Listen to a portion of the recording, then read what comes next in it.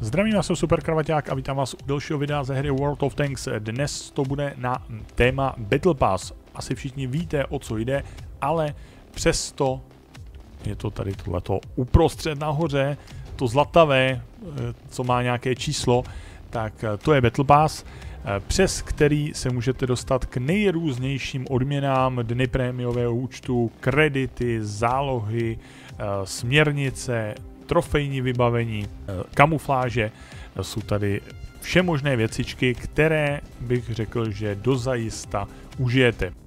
O co mi dneska jde? Jde mi o to, abychom společně nějakým způsobem vyčíslili a zhodnotili, jestli se vůbec vyplatí ten Battle Pass si pořídit. Myslím tedy ten vylepšený Battle Pass, eh, kdy máte vlastně co by free-to-play hráč jenom ty odměny, no jenom, prostě ty odměny, které jsou v tom základním Battle Passu, anebo si můžete pak pořídit za 2500 eh, goldů možnost vyjezdit si i ty odměny, které jsou tady ve spod, které jsou samozřejmě lákavé eh, a lákavější než ty nahoře, už jenom proto, že na konci každé té fáze, těch tří fází Battle Passu, máte trofejní vybavení, kde si můžete vybrat pohonděla, nabiják, ventilace, optika, stabík, obraná technologie, otočný mechanismus, zaměřování a trofejní výfukový systém. Takže hodně zajímavá záležitost. Navíc dostanete, eh, to už, eh, to už nezáleží na, na tom vylepšení, pak dostanete na konci vždy univerzálního člena posádky, jak vidíte má tady ještě bratry ve zbrani a dvě další schopnosti, které si můžete vybrat. No a jak jsem říkal, stojí to 2,5 tisíce goldů, abyste si pořídili i to vylepšené a celkem tedy 7,5 tisíce goldů. No a když vlastně si nějakým způsobem projdeme, co všechno eh, získáte, tak eh, pak je otázka, nakolik a jestli se to tedy vyplatí. Pojďme na to. Pojďme si říci, co vlastně v Battle Passu získáte.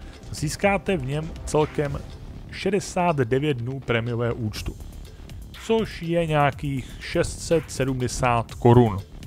670 korun, v případě, že platíte eury, tak je to nějakých 620 eur. To už je zajímavé. Když totiž si porovnáte, že za ten vylepšený kompletní Battle Pass dáte 7,5 tisíce goldů, což je nějakých 675 korun, ejhle, ono je to úplně stejná částka, 675, 670 korun, takže vy podstatě na tom na tom vydělat. Ale samozřejmě je potřeba na to koukat tak, že v té free-to-play části eh, vy máte také nějaké ty dny premka, třeba tady jeden den, ale všimněte si, že v té vylepšené části Battle Passu máte 7 dní, máte 3 dny, 3, tady jeden, takže rozhodně, rozhodně to hlavní se skrývá dole. Mimochodem, eh, pokud někdo snad neví, jak získat body v Battle Passu, máte tady takovou pěknou nápovědu, eh, bojujete s tanky, 6. až 10. úrovně, pokud jste top, do top 3 na zkušenosti, v případě vítězství 7 bodíků, v případě porážky 5, když jste do top 10 podle zkušeností, při vítězství 5 bodíků a při porážce 3 bodíky do Battle Passu a ty se vám tady přičítají tady v tom Battle Passu s tím, že akce trvá do 6. září, takže času je na to habaděj. Navíc eh, můžete jezdit s rozličnými tanky. Ale pojďme zpátky k té výhodnosti. Takže řekli jsme si, že eh, za celý kompletní vylepšený Battle Pass musíte dát 7,5 tisíce goldů. No a to je nějakých těch 675 korun.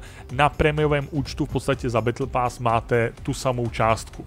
Za 69 dnů 670 korun, nějakých 26 euro. No ale vy ještě díky Battle Passu získáte kredity. Opět si všimněte, že v té základní části toho Battle Passu máte 75 tisíc, tady 100 tisíc v té vylepšené. Tady máte 100 tisíc, tady máte jenom nějaké směrnice, zase nahoře 75, dole 100, tady máte nahoře 100, tady 150, tady 150, nahoře nic, takže zase je to zvýhodněno ten vylepšený Battle Pass. Když bychom byli úplně extrémisté a spočítali, kolik vlastně stojí ty kredity, které si tady můžete teoreticky vyjezdit, tak kolik vás to vlastně přijde? To je dobrá otázka. Samozřejmě kredity v tancích kupují jen opravdu, řekněme, asi movití hráči, myslím tedy reálné peníze. Protože reálně, když byste to přepočítali, eh, dá se to koupit, většinou to VG prodává v nějakém balíku z Goldy a s nějakými dny premka, ale když byste odečetli dny premka a Goldy, tak plus minus eh, si VG cení 1 milion kreditů, vím, zní to neuvěřitelně, ale na 140 korun. Na 140 korun. Za celý Battle Pass vyděláte nějakých 8 milionů, asi 7, 7 milionů 950 tisíc. To znamená, to je nějaký 1120 korun. 1120 korun, když bychom to takhle přepočítávali, eh, tak, eh, tak je to vlastně cena těch 8 milionů 1120 korun, co můžete z Battle Passu získat. Samozřejmě, že se jedná o součet Eh, jak toho základního, tak i toho vylepšeného Battle Passu. Řekněme, že reálně vy z toho vylepšeného vytáhnete, dejme tomu z těch 8 milionů, vytáhnete třeba 5 milionů. On je to možná o něco více, ale i tak 5 milionů, to znamená nějakých 5 krát 140, to eh, dělá eh, nějakých 700 korun jenom na kreditech. Když bychom obdobně to počítali u, toho, eh, u těch dnů Premka, tak tam dejme tomu budeme počítat 50 dnů prémiového účtu v tom vylepšeném Battle Passu, to je nějakých 500 korun, takže už teď jsme na 1200 korunách. No ale to není samozřejmě všechno, co získáte v Battle Passu. V Battle Passu také získáte, jak už jsem zmínil, výběr toho trofejního standardního vybavení, dobrá, eh, to nebudeme brát, protože to nejde uh, úplně vyčíslit. Uh, stejně tak dostanete 3000 bonů v součtu, to také je něco, co si nejde koupit, takže to také ponecháme. No ale co se dá koupit, tak to je až 9 stání v garáži, které získáte za Battle Pass. Jedno stání v garáži stojí 300 goldů. To znamená 9x300 logika Eh, matematická zní součet 2700 goldů, to znamená nějakých 250 korun. Takže už jsme na nějakých 1450 korunách. No a to není všechno. Vy kromě toho ještě eh, získáte eh, také nějaké ty prvky na úpravu vzhledu, nějaké ty tři progresivní styly, to je také samozřejmě super, ale to si musíte vyjezdit, ale Eh, máte tam, máte tam ještě tedy nějaké ty univerzální styly, ale máte tam manuály, máte tam tři osobní výcvikové manuály, 850 tisíc zkušeností má každý. No a teď kolik by stálo v reálu, kdybyste si stejné množství zkušeností na posádku pomocí těch manuálů chtěli koupit, protože to se dá, jo. Výcvikový manuál si můžete koupit, který má 250 tisíc zkušeností pro posádku za 2 miliony kreditů.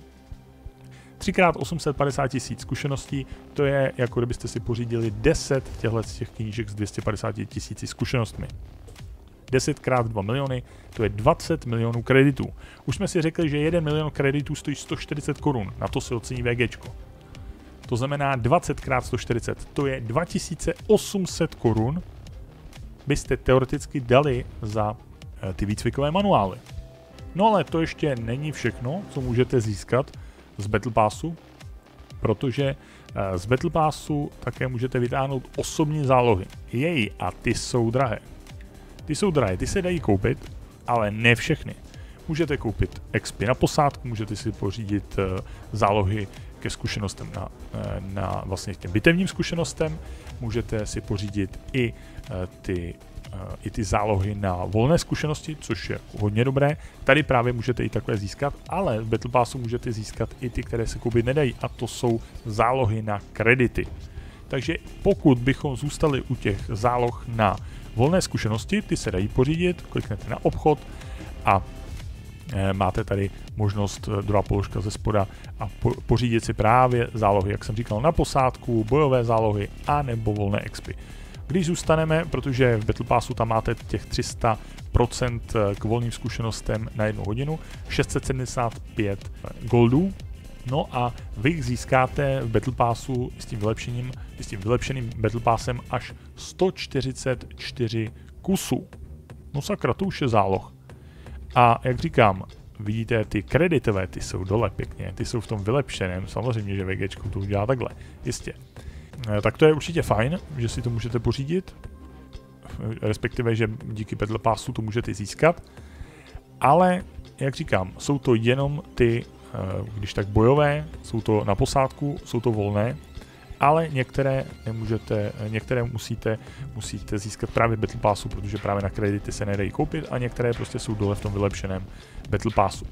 Když bychom to brali na půl, tak z těch 144 uh, záloh 72 můžeme vynásobit těmi 675 goldy.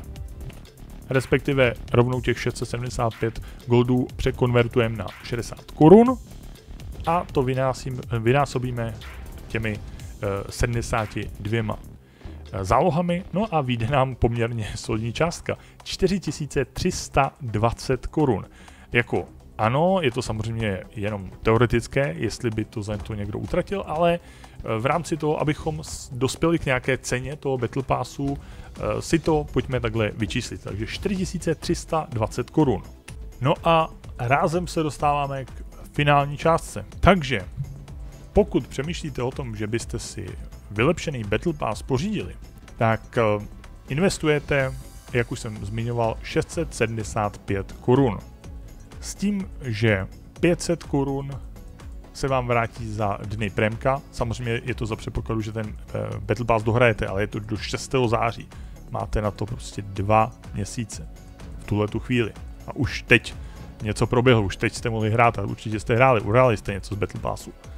500 za prémiový účet se vám vrátí, teoreticky 700 korun máte v kreditech, garážová stání, která určitě užijete, to je 250 korun, které získáte v Battle Passu, no a pak tam máte 2800 korun v těch manuálech v přepočtu z kreditu, no a pak máte v, v těch zálohách 4320 korun.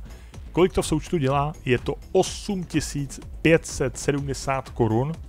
Ano, dobře, ty zálohy tam dělají 4320 korun, což je v podstatě polovina té částky, ale i tak. Kdybychom to opravdu punčičkářsky počítali, tak je to přes 8,5 tisíce korun, které získáte v Battle Passu, pokud si pořídíte ten vylepšený za v přepočtu 750 korun. Takže eh, to je jenom taková zajímavost, která by třeba vám mohla pomoci se rozhodnout. Ještě samozřejmě to možná vůbec nejdůležitější jsem zapomněl. Samozřejmě získáváte v Battle Passu žetony, za které si můžete pořídit eh, tank AE fázi, Sharfutur, Objekta 77, K91, ještě Kunstpanzer, to není podstatné. Mimochodem natočil jsem video k tomu, jaký tank za ty žetony si vybrat. Tank, který zatím nijak jinak si zakoupit nemůžete.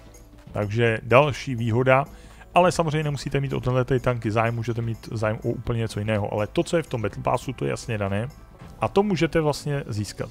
No a je, pro koho je to vlastně výhodné? No je to jednoznačně výhodné pro toho, kdo bude chtít eh, vodko hrát intenzivně, pro toho, kdo bude chtít expit eh, víc než jednu linii za rok.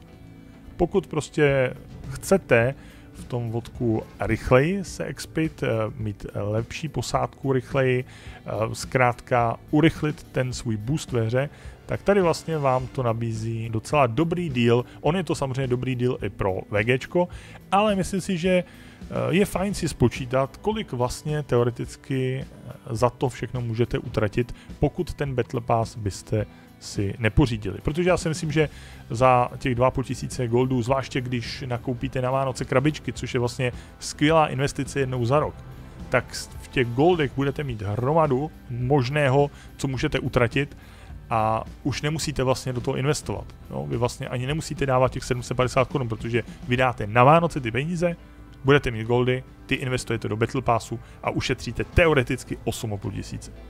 Takže matematika je to jasná, No a e, napište mi do komentářů, co si o to myslíte, jestli Battle Pass e, využíváte, jestli využíváte tu vylepšenou část Battle Passu a co je pro vás vlastně nejlepší nebo nejcennější z toho Battle Passu, jestli jsou to žetony, kredity, zálohy na kredity, posádka, kamufláže, zkrátka blueprinty a podobně, co to je, nebo jestli prostě všechno. Tak jo, to je všechno, díky moc za pozornost, mějte se a určitě pokud se vám video zamlouvalo, tak pokud dáte ten palec nahoru, tak budu jedině rád. Díky moc, mějte se.